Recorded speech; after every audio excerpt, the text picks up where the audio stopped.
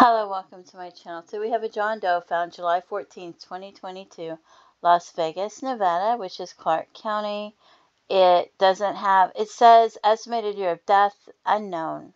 Estimated PMI, nothing. Estimated age range, they have no idea.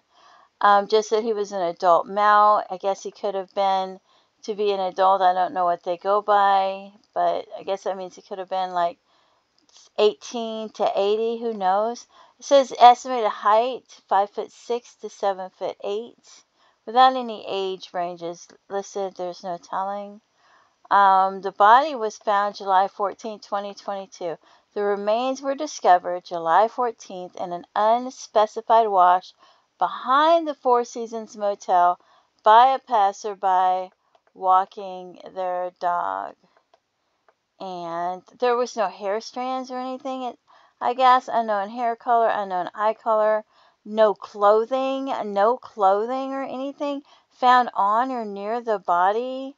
Um, this is a nice area where they found the body. I don't know how the passerby was able to determine that it was a body without, you know, without because you'd think they wouldn't notice skeletal remains that were so bad and been there for so long that they didn't even have clothing or hair strands or anything to make it recognizable to be a body um, just by walking by. I don't know. I don't know if the person that input this didn't input all the information or if they had just been there so long that they didn't have any clothing or hair strands or anything, or if they just need better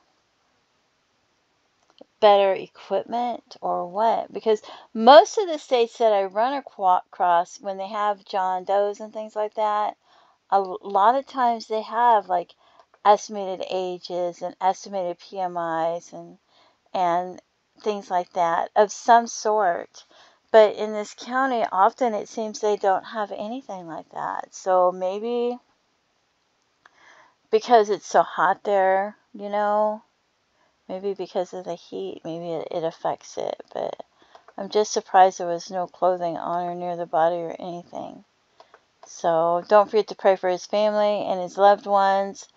Uh, feel free to leave comments and have a blessed day. Bye bye.